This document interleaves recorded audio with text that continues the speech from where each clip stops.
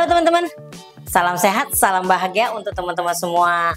Ayo hari ini kita bikin cemilan untuk anak-anak kita makan ya atau ide usaha. Nah teman-teman mau tahu resepnya? Di sini resep-resep. Nah teman-teman di sini aku punya cakwe. Cakwe ini punya ada empat empat batang begini ya, empat batang setengah. Aku beli. Kalau mau bikin sendiri di video ini yang sudah lihat ada cara membuat cakwe ya, cantik banget di situ.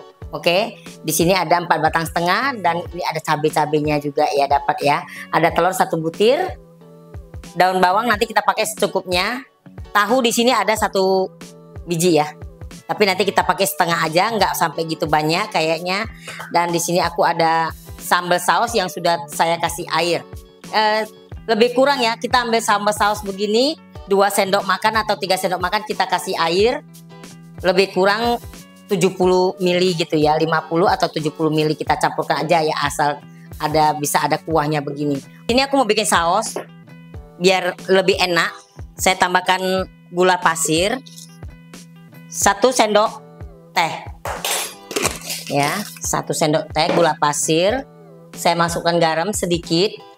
Sejumput aja garamnya ya. Hmm, ini ada bawang putih goreng. Saya pakai bawang putih gorengnya ini uh, satu sendok teh. Jadi nanti kalau dimakan dia ada rasa seperti kacang-kacang gitu ya. Nah ini begini aja sudah oke. Okay. Kalau nggak dikasih gula sama garam dikit lagi kurang enak ya. Ini udah sausnya sudah jadi. Kita sisihkan. Ini tahu kan satu potong gini kan besar ya. Kita belah dua aja. Kita ambil setengah. Ambil setengah dari tahu ini. Kita potong-potong. Awas ya, pisaunya tajam sekali, jangan sampai kena tangan. Ini kita masukkan. Ini tahunya kita sisihkan. Saya tambahkan telur satu butir. Ini daun bawang. Pakai secukupnya aja lah ya. Saya pakai 3 sendok teh. Kita sisihkan. Bawang putih kita masukkan satu sendok teh. Nggak punya boleh pakai bawang putih e, dua siung pun boleh ya. Atau satu siung. Ini garam secukupnya. Saya pakai setengah sendok teh. Karena nanti kan kita makan sama saus ya. Penyedap rasanya. Saya pakai satu sendok teh. Saya kasih merica bubuk. Sepertiga sendok teh aja kalau nggak mau boleh skip ya. Kita di sini tambahkan tepung tapioka satu dua sendok makan ya. Langsung kita haluskan. Ini sudah halus kita masuk ke contong segitiga. Contong plastik ya, biar lebih gampang kita isi. Ini kan panjang-panjang ya. Kita belah dua. Belah dua, kita lihat rongganya. Itu kan rongganya nggak nggak ini ya, jadi kalau kita semprot kan agak susah. Jadi kita kasih rongga lagi, kita tusuk dia. Nah teman-teman ini ya kita bolongin, kita pakai sumpit ini ya. Jadi bisa bolong, kita udah gampang tuh masukinnya. Kalau belum dibolongin jadi susah masukinnya ya.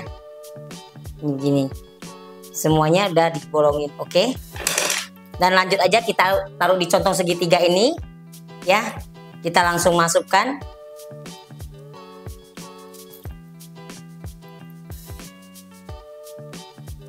Oke.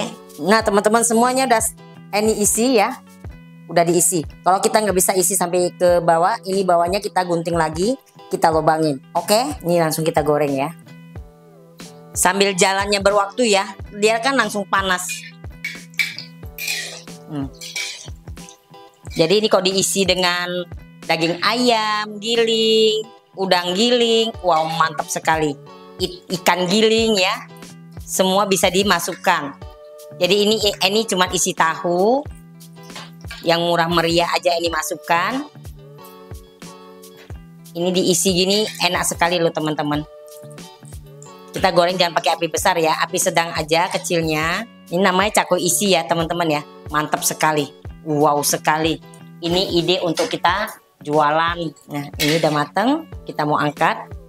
Jangan sampai angus ya. Api kecil aja. Nah teman-teman ini gampang bikinnya ya Udah kelihatan? Nah, ini kita lihat isinya ya. Wow sekali. Nah, matangkan matang sampai ke dalam ya. Jadi bila mau makan tinggal kita celupkan atau kita semprotkan ini air sambelnya. Udah jadi. Oke? Nah teman-teman ini ya. Ini langsung aja kita siram sausnya. Hmm. Wow sekali. Mantap Oke, selesai saya siram. Ini gampang sekali dibikin. Bahannya semua gampang ya teman-teman ya. Ini ide untuk usaha kita juga mantap. Dan teman-teman jangan lupa. Halo semuanya, kali ini aku mau cobain dulu ya. Namanya apa mah? Cakwe isi. Cakwe isi ya. Nah ini aku cocol di sini ya. Cocol di bagian saus sambalnya ini. Oke, langsung aja aku pengen cobain. Hmm. Nikmat banget ya ya luarnya itu lumayan garing tapi karena disiram sama sambal jadinya kan lembek-lembek gitu ya. Dalamnya juga nikmat nih. Asinnya pas gurihnya pas udah oke banget buat jualan langsung aja.